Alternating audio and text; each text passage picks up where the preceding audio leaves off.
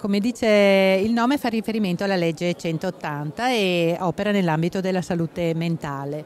E quindi si adopera la nostra associazione proprio per ehm, migliorare le condizioni di vita delle persone che hanno un disagio psichico.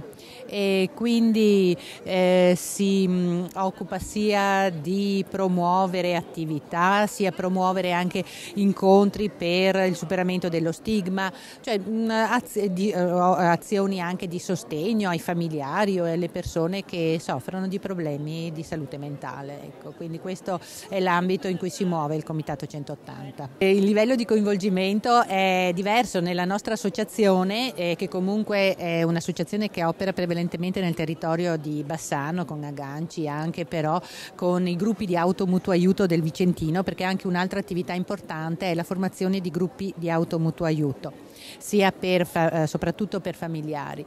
E quindi diciamo che mm, eh, circa 100-150 proprio persone, poi chiaramente anche queste 100-150 persone mm, eh, diciamo mm, sono soci oppure promuovono determinate attività, uh, un numero più ristretto proprio lavora in maniera più intensiva quindi diciamo che il, il collegamento anche con le persone varia molto.